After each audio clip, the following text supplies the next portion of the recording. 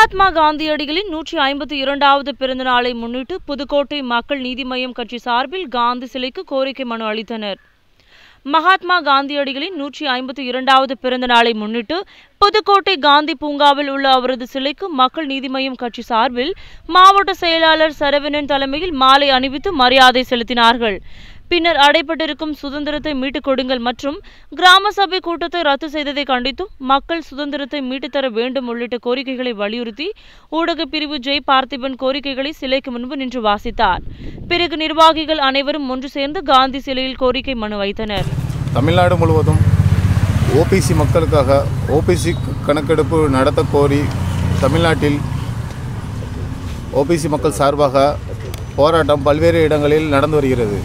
இன்று தூத்துக்குடி மக்கள் ஓபிசி மக்களின் சார்பாக அனு மீனவ மக்கள் சமுதாயமும் இங்கு அனைத்து மக்களுடைய சமுதாயங்களும் கலந்து கொண்டுள்ளன. மத்திய அரசை வலியுறுத்தி நாங்கள் கேட்டுக்கொள்வது என்னவென்றால் ஓபிசி மக்களுக்கு வாழ்வாதாரம் என்ன? அவர்களின் அடிப்படை உரிமைகள் என்ன? இது மிகவும் பாதிக்கப்பட்டுள்ளது. இன்று பல ஆண்டுகளாக இன்று வரை கணக்கெடுப்பு நடத்த முடியாமல் மத்திய அரசு திணறி வருகிறது. அதற்கான காரணங்களை கேட்டால் ஒன்றுமில்லை ஒன்றுமில்லை இடஒதுக்கீடு கொடுத்து விட்டோம் கொடுத்து விட்டோம் என்று சொல்கிறார்கள். ஆனால் இன்று வரை ஓபிசி மக்களின் அடிப்படை அடிப்படை உரிமையிலிருந்து எந்த ஒரு உரிமையும் எங்களுக்கு கொடுக்கப்படவில்லை.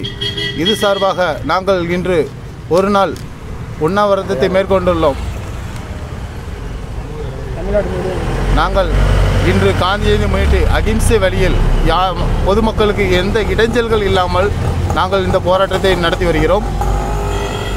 ஓபிசி மக்களிடையே நீண்ட நாள கோரிக்கையான இடஒதுக்கீடு சம்பந்தமாக இந்த தமிழ்நாடு முழுவதும் இன்றைக்கு ஒரு நாள் அடையாள உண்ணாவிரதம் இருக்கிறோம். இந்த காந்தி ஜெயந்தியை முன்னிட்டு அகிம்சை வழியில் இன்றைக்கி இரநூத்தி ஐம்பத்தி இரநூத்தி எழுபது இடத்துல தமிழ்நாடு ஃபுல்லாக ஈரோடு நாமக்கல் கரூர் சேலம் மதுரை தூத்துக்குடி திருநெல்வேலி இப்படி எல்லா இடத்துலையுமே ஒரு நாள் அடையாள உண்ணாவிரதம் இருந்துகிட்டு இருக்கோம்.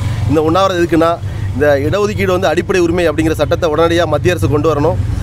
உடனே இட இடஒதுக்கீடு வந்து உள்ஒதுக்கீடு கொடுக்கணும் அப்படிங்கிற கோரிக்கை வலியுறுத்தி தான் பண்ணுறோம் ஏன்னா கடந்த ஒரு தொண்ணூறு ஆண்டுகளமாக ஓபிசி மக்களுக்கான ஜாதிவாரி கணக்கெடுப்பு நடத்தாமல் இருக்குது அது உடனடியாக மக்கள் இந்த மத்திய அரசு வந்து நடத்தலைன்னா இந்த போராட்டம் பெரிய பெரிய பெரிய லெவலில் தமிழகம் எங்கும் ஒரு புரட்சியாக வெடிக்குங்கிறத கேட்டுக்கொள்கிறோம் கார்த்திகராஜன் அகில இந்திய ஓபிசி ஒருங்கிணைப்பு குழு தூத்துக்குடி.